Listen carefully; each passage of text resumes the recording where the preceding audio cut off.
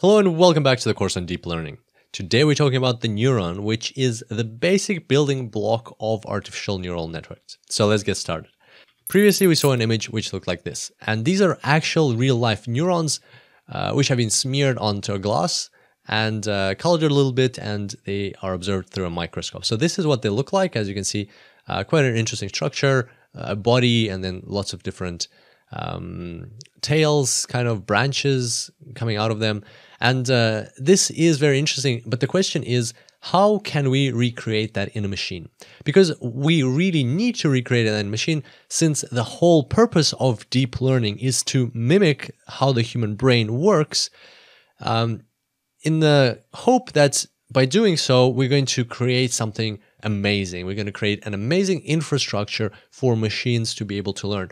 And why do we hope for that? Well, because the human brain is uh, well, just happens to be one of the most powerful learning learning tools in on the planet, or like learning mechanisms on the planet. And we just hope that if we recreate that, we'll have something as awesome as that. So, our challenge right now, our very first step to creating artificial neural networks, is to recreate a neuron. So, how do we do that? Well, first of all, let's have a closer look at what it actually is.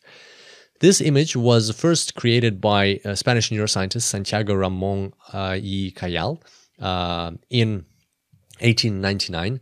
And what he did was he dyed neurons in actual brain tissue and look at them under a microscope. And while he was looking at them, he actually drew what he saw. And this is what he saw. He saw two neurons or two large neurons over there at the top, uh, which had all these uh, branches coming out of them towards uh, their top parts, and then the, each one of them had this rod um, or like thread coming out towards the bottom, very long one. And uh, yeah, so that's what he saw. And now, you know, technology has advanced quite a lot, and we uh, have seen neurons much closer in more detail. And now we can actually draw uh, what it looks like diagrammatically. So let's have a look at that. Here's a neuron. This is what it looks like. Very similar to what uh, Santiago uh, Ramon uh, drew over here. And here in this neuron, what we can see is that it's got a body. Well, that's the main part of the neuron. And then it's got some branches at the top, which are called dendrites, and it's also got an axon, which is that long tail of the neuron. And so, what are these dendrites when for, and what's the axon for? Well, um, the key point to understand here is that neurons by themselves are uh, pretty much useless. It's like it's like an ant, right? An ant on its own can't do much. Like five ants together maybe they can pick something up but again they they they don't they can't build an ant hill they can't establish a colony. They can't uh, work together as a as a huge organism. But at the same time when you have lots and lots of ants like you have an, a million ants they can build a whole colony. They can build an ant hill. Same thing with neurons. By itself it's not that strong but when you have lots of neurons together they work together to to do magic. And uh, how do they work together? That's the question. Well, that's what the dendrites and the axon are for. So the dendrites are kind of like the receivers of the signal for the neuron, and the axon is the transmitter of the signal for the neuron. And here's an image of um, how it all works conceptually. So at the top, you've got a neuron, and you can see that its dendrites are connected to axons of other neurons that are like even further away above it. And then the signal from this neuron travels down its axon and connects or passes on to the dendrites of the next neuron. And that's how they're connected. And uh, in that small image over there, you can see that um, the axon doesn't actually touch the dendrite. A lot, of, a lot of machine learning, or like a few machine learning scientists, uh, are very adamant about that the fact that it doesn't touch. Uh, it uh, like the it doesn't touch. It has been proven that there is no physical connection there. But the point that we're interested in is that that connection between them, that uh, the whole concept of the signal being passed, that's called a synapse. You can see over there in that little image um, that uh, figure bracket is a synapse, and that's the term we're going to be using. So instead of calling our artificial neurons, you know, the lines that we're going to have, or the connectors for artificial neurons, we're not going to be calling them axons or dendrites, uh, because then it, the question is whose connection is this? Is it that neurons or is it this neurons? We just call them. We're just going to call them synapses, and that's kind of just uh, answers all questions right away. That's just basically where the signal is passed. Doesn't matter who that element belongs to. That's just a representation of the signal being passed, and we'll see that just now.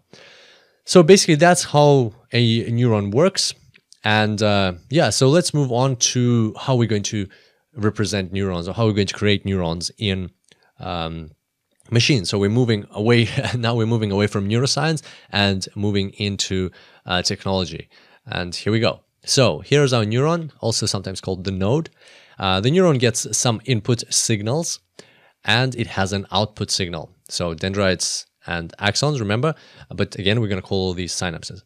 Um, then the uh, these input signals, we're going to represent them with other neurons as well. So in this specific case, you can see that this neuron, this green neuron, is getting signals from yellow neurons. And in this course, we're going to try and stick to um, a certain color coding regime where yellow means an input layer. So basically, all of the neurons that are on the outer layer or in the first front of um, where the signal is coming in. And by signal, it might be like a bit of an over overkill to call this a signal. It's just basically input values. So so you know how even like in a simple linear regression, you have input values and then you have a uh, a predicted value. Same thing here. So you have input values and there they are, the yellow ones. And then on the right, you'll see just now, it'll be red. It'll be the output value.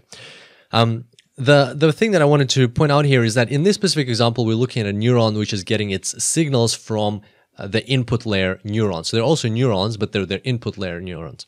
Um, sometimes you'll have neurons which get their signal from other hidden layer neurons, so uh, from other green neurons. And the concept is going to be exactly the same. Just in this case, we, uh, for simplicity's sake, we're portraying this example.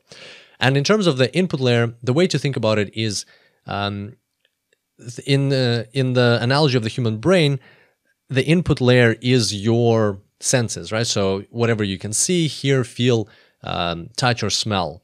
And of course, it's uh, like there's there's a lot of things you can see. There's a lot of information coming in, but those are your that's what your brain is limited to. It's pretty much a um, like it's pretty much lives in a box made out of bones and it's only just it's it's a mind-blowing concept to think about that your brain is just locked in a black box and the only thing like it can't see it can't hear the only thing it's getting is electrical impulses coming from these um, organs that you have which are called your ears nose eyes um, you know your sense of touch and whatever and your and your and your taste right so it's just getting signals but it basically lives in this dark black box and it's making um, making sense of the world through your senses it's it's it's phenomenal um, and so yeah so you have these uh, inputs that are coming in. Uh, in terms of human brain, those are your five senses. And uh, in terms of machine learning or deep learning, that is basically your uh, input values, so your independent variables, and we'll get that to in a second. So um, your input values, they um, the signal is passed through synapses to your neuron, and then your neuron has an output value that it passes further on down the chain. In this specific case, in terms of color coding, again, yellow means input layer. So we're kind of simplifying everything here. We're saying we're only going to have like the input layer, then we're going to have one hidden layer with the green, uh, which is the hidden layer, and then we're going to have the output layer right away. So just so that we can get used to these colors for now. Um, so there we go. That's uh, the basic structure. So now let's look in a bit more detail at these different elements that we have. So we've got the input layer. And what do we have here? Well, we have uh, these inputs, which are in fact independent variables. So independent variable 1, independent variable 2, independent variable m. The important thing to remember here is that these independent variables are all for one single observation. So think of it as just one row in your database, one observation. You just take all of the independent variables, uh, you know, maybe it's a the age of the person, their the amount of money in the bank account, and then how how do they drive or, or walk to work? What method of transportation do they use? So, but that's all descriptors of one specific person that you are either you're training your model on uh, or you're performing some prediction on.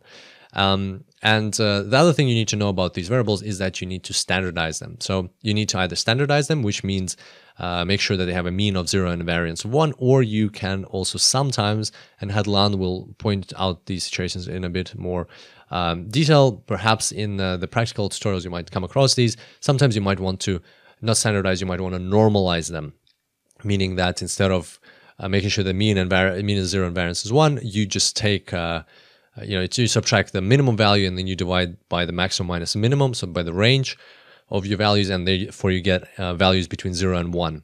And uh, it depends on the scenario. You might want to do one or the other, but basically you want all of these variables to be quite similar in the in about the same uh, range of values. And why why is that? Well, um, all of these values are going to go into a neural network where, as we'll see just now, they'll be added up and and uh, multiplied by weights, added up, and so on. And just going to be just going to be easier for the neural network to process them uh, if they're all about the same.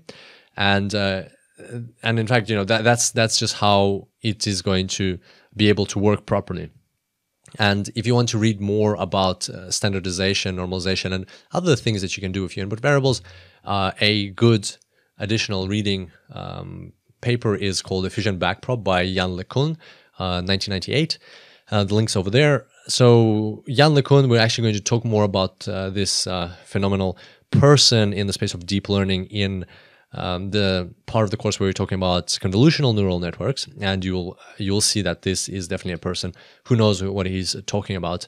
He's a close friend of um, Geoffrey Hinton, who we've already seen, um, who we've already mentioned. So uh, in this paper, you'll learn more about standardization and normalization, but also you can pick up lots of other different tips and tricks, and it'll be a good uh, good source for additional reading as you go through this course. So, so yeah, check it out if you're interested in some additional reading. Um, there we go. So that's what we need to do with the variables, and uh, here we've got the output value. So what can our output value be? Well, we've got a couple of options. Output value can be it can be continuous, like for instance price. It can be binary, for instance, a person will exit or will stay, or it can be a categorical variable. And um, if it's a categorical variable, the important thing to remember here is that in that case, your output value won't be just one, it'll be several output values because these will be your dummy variables, which will be representing your categories. And that's just, just how it works. And uh, just important to remember that in that case, that's how you're going to be getting your categories out of the uh, artificial neural network. Um, but let's go back to a simple case of one output value. And now let's, uh, one more point or kind of like another, the point that we've already made, I just wanted to reiterate this point. Um, on the left, you've got a single observation. So one row from your, from your data set. And on the right, you have a single observation as well. And that is the same observation. So important to remember that like whatever inputs you're putting in, that's for one row and then the output you get that is for that same exact row. Or if you're training your uh, neural network then you know you're putting the inputs in for that one row you're putting the output in for that one row. So like if you want to simplify the complexity think of it as a uh, like a simple linear regression or a multivariate linear regression. So you're putting in your uh, values you have your output. There's, there's like there's no question about it when we're talking about uh, things like regression because we're so used to it. Same thing here. It's it's nothing too complex. We're just putting in values, we're getting output, but just remember that every time it's one row you're dealing with, so you don't get confused and start putting in like uh, thinking that these are different uh, different rows that you're putting into your um, artificial neural network or something. This is all just values in that one row. So different observation, different characteristics of or attributes relating to that one observation every single time. Um, okay, so next thing that we want to talk about here is the or are the synapses. Is the synapses. Um, here we've got synapses, and they all actually get assigned weights. Uh, weights. We're going to talk uh, more about weights further down, but in short, weights are crucial to artificial neural networks functioning because weights are how neural networks learn. By adjusting the weights, the neural network decides in every single case what signal is important, what signal is not important to a certain neuron, what signal gets passed along, and what signal doesn't get passed along, or to what strength, to what extent signals get passed along. So weights are crucial. They are and th- they are the things that get adjusted through the process of learning. Like when when you're training an artificial neural network you're basically adjusting all of the weights in all of the synapses across this whole neural network. And and that's where gradient descent and um, backpropagation come into play. And those are concepts that we'll also discuss. Um, so basically those are the weights. That's all we need to know for now. And uh, here we've got the neuron. So signals go into the neuron. And what happens in the neuron so this is the, the interesting part. Like we're talking about the neuron today. What happens inside the neuron? So a few things happen.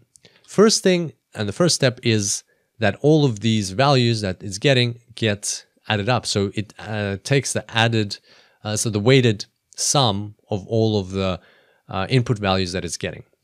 Very simple, right? It's very, very straightforward. Just add up, multiply by the weight, add them up. Um, and then it applies an activation function. Now we're going to talk more about activation functions further down, but it's basically a function that is assigned to this neuron or to this whole layer. And uh, it is applied to this weighted uh, sum. And then from that, the neuron understands um, if it needs to pass on a signal, if it like the, that's the signal that it passes on that uh, the function applied to um, the weighted sum. But basically, depending on the function, the neuron will either pass on a signal or it won't pass the signal on. And that's exactly what happened here in step three. Um, the neuron passes on that signal to the next neuron down the line. Um, and that's what we're going to talk about in the next tutorial because it is quite an important topic. We want to delve deeper into uh, the activation function. But hopefully for now, everything is should be pretty clear how, you know, you've got input values, you've got weights, you've got the synapses, you've got something, you know, happens in the neuron, you've got the weighted sum and then an activation function applied and then that is passed down the line. And that is just repeated throughout the whole neural network on and on and on and on. Uh, you know, thousands, hundreds of thousands of times, depending on how big, how many neurons you have, how many synapses you have in your neural network. Now make sure to check out these videos on the right or the full course in the description to continue your learning and I look forward to seeing you there.